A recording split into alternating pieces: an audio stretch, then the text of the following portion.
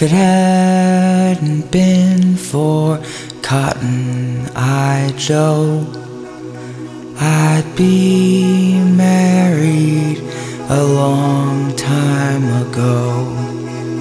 Where did you come from? Where did you go?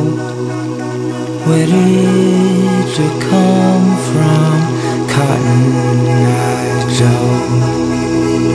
Fiel info.